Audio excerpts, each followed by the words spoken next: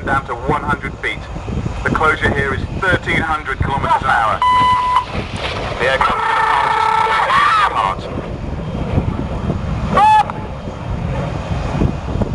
This maneuver we call the carousel. Ben on the left-hand side has a degree in geography, not much use for a pilot.